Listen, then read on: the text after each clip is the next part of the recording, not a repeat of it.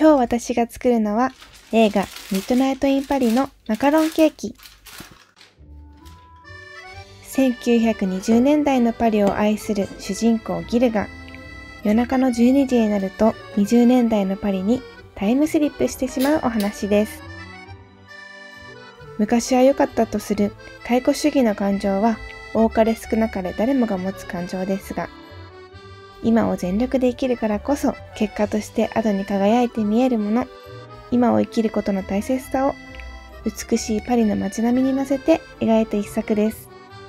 今日のケーキはマカロンでカラフルに、大きなケーキは今を、小さいマカロンたちはそれぞれの時代やそのシーンに合わせたものになっています。まずは土台となるマカロン作り。お砂糖を3回に分けて卵白に入れ泡立てたら粉糖とアーモンドプードルをふるいます。分量は1対1なのでこれのことをタンプルタンと言います。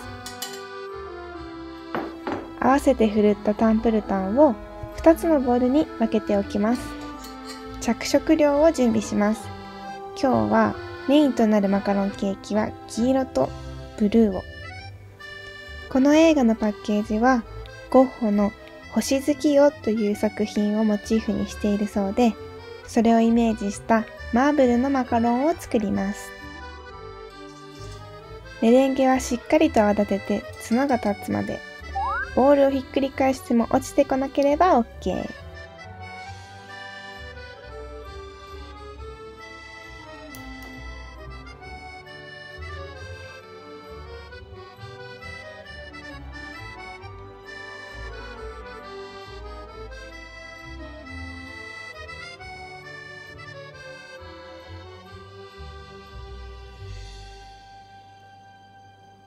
黄色からマカロンの味をしていきます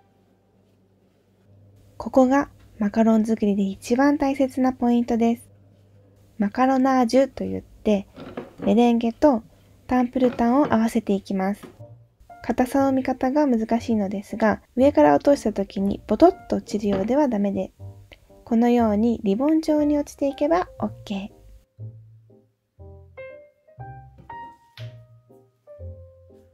この硬さを見極められるようになったら、マカロンはきっとうまくいくはず。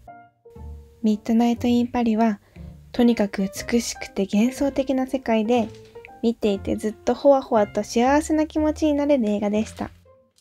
そうそう、パリのこんな姿に子供ながらに憧れたんだよなぁと思い出しました。そして私がフランス菓子に憧れを持った原点であるのがマカロンでした。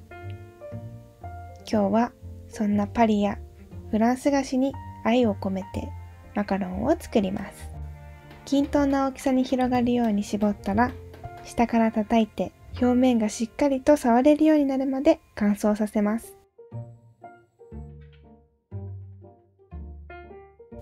ワインのゼリーを作ります。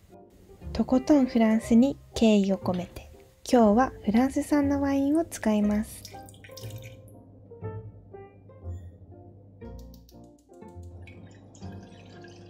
アルコールが飛んでしまわないように温める程度でふやかしておいたゼラチンを絞って中に入れて溶かします。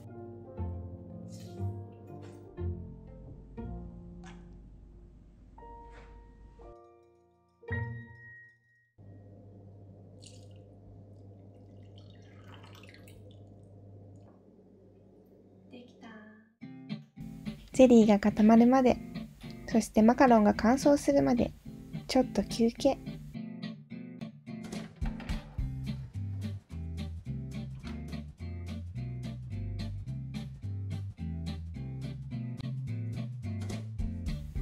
違う着色料を使って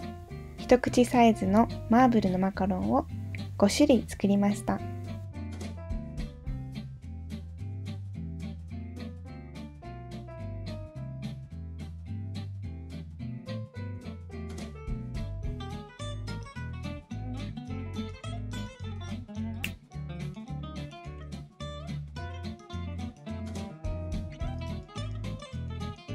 ミニマカロンはガナッシュを使います。ホワイトチョコレートとミルクチョコレートを湯煎で溶かして生クリームを加えます。この時、熱すぎる生クリームを加えてしまうとチョコレートが分離するので要注意。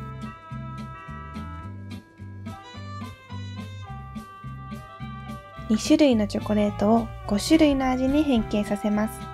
1つ目はインスタントコーヒーを使ってチョコレートとコーヒーのモカのガナッシュ。2つ目はキルシュを使ってちょっぴり大人な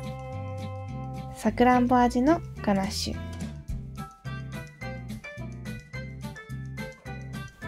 3つ目はアールグレイ。4つ目はバニラビーンズ。そして5つ目がフランボワーズのガナッシュです。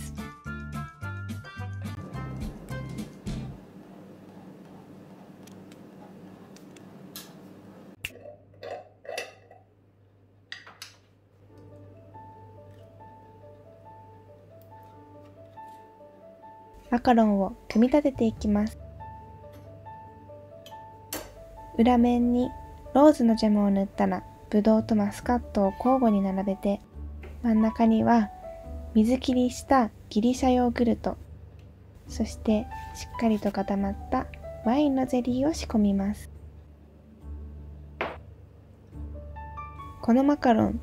とってもさっぱりした味わいです映画を見終わった後前向きな気持ちで食べてもらいたいマカロンになっています。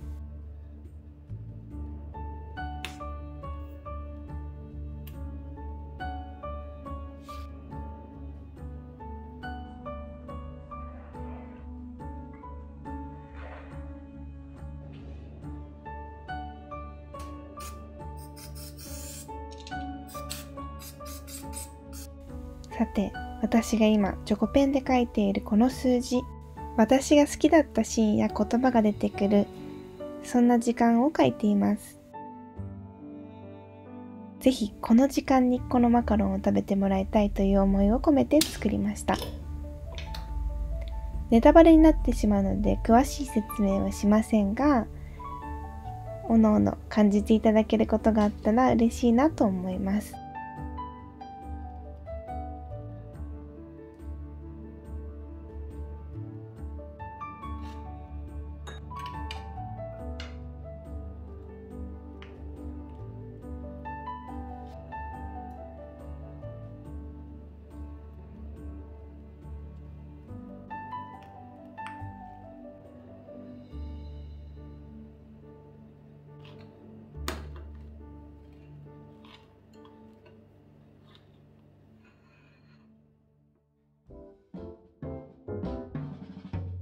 今ってきっと